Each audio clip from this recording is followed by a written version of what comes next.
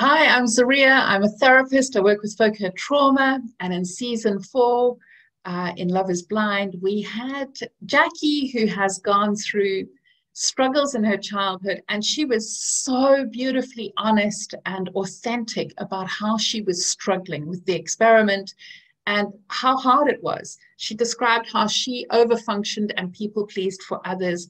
She described how she struggles with emotions how she struggled with communication. These are all really typical issues that people who've had uh, ch- childhood adversity struggle with. And what is a relief to know is that all of these skills can be learned. While you didn't get them in childhood, they are just skills. They aren't some magic thing that because you didn't get them, you can't learn them. So if we look at her things of emotional regulation, emotional regulation, if we can't regulate, we either shut down or go into flight or go into freeze.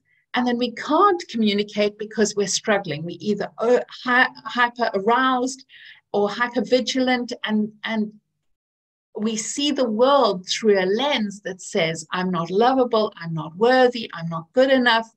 And then we act out of that place the more that we grow in self regulation, the more we are able to move forward and to be able to uh, learn how to communicate and how to get our needs met in a healthy way. I just adored Jackie. I thought she was so uh, vibrant and alive, and I felt deeply for her. For those of you who have had a toxic childhood and you've had adversity, if you look in my bio, I have a training on healing from toxic childhood.